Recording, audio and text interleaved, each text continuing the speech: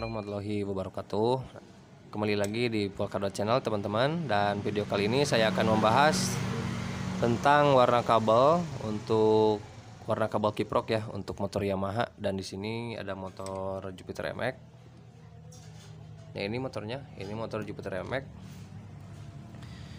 Namun untuk Pengaplikasian tema bahasan kali ini ya bisa juga diaplikasikan untuk motor Yamaha Mio yang lama atau Yamaha Nupo bisa juga Yamaha Jupiter Jet ya Jupiter Jet yang Jupiter Jet atau Jupiter Jet yang pertama sama yang terakhir ya Jupiter Jet series kecuali motor Jupiter Jet yang udah injeksi Untuk Mio juga kalau untuk Mio yang injeksi untuk yang Maha Mio J berbeda ya. Jadi ini khusus untuk motor-motor Yamaha yang masih menggunakan uh, karburator. Nah, ini kenapa di sini saya membahas uh, apa soket kabel atau kabel kiprok untuk motor Yamaha ini karena ketika teman-teman kadang ya kadang menemukan ada kendala koslet biasanya kan si soket ini suka ini suka meleleh.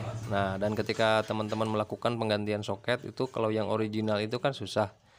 Jadi ketika teman-teman melakukan penggantian soket yang lokal, nah seperti ini. Ini saya memegang kiprok lokal, uh, maaf soket lokal. Nah, ini adalah si kiprok uh, soket kiprok lokal ini digunakan untuk semua jenis kendaraan kendaraan bermotor sehingga warna kabelnya berbeda ya dengan yang warna aslinya nah ini jadi kita mulai saja untuk kiprok Yamaha untuk motor Yamaha Jupiter Jet Jupiter MX atau Yamaha Mio lama ketika teman-teman melakukan penggantian soket ya akan menemukan warna kabel di motor Yamaha itu. Ini saya dekatkan.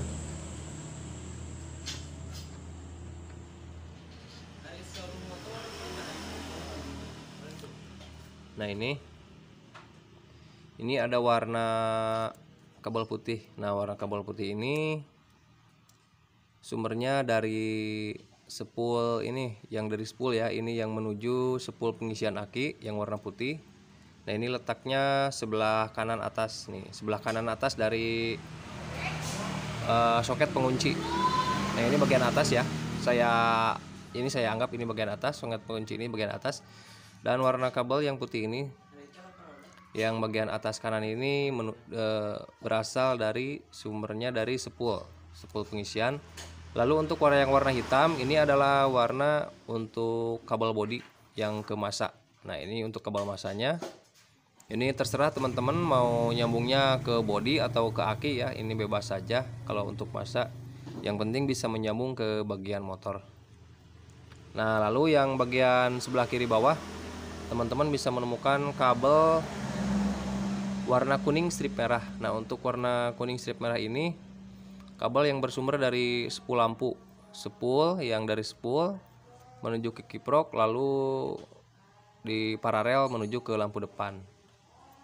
Nah, demikian ya teman-teman. Satu lagi sebagai di bagian kanan bawah ini ada Nah, ini ada warna merah. Nah, warna merah ini adalah kabel setrum yang keluar dari kiprok yang menuju ke aki ya.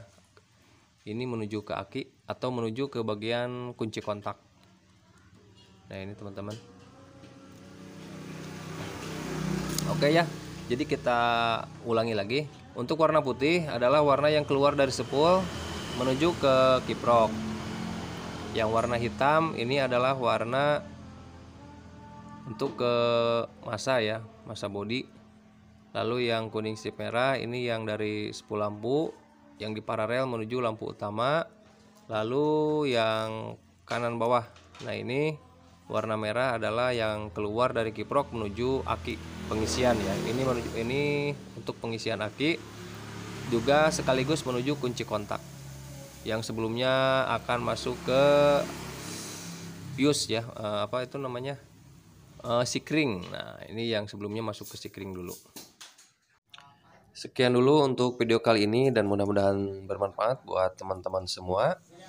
Dan jangan lupa buat teman-teman yang belum subscribe silahkan di subscribe dulu dan jangan lupa juga aktifkan tombol loncengnya agar teman-teman bisa mendapatkan notifikasi dari video kami berikutnya.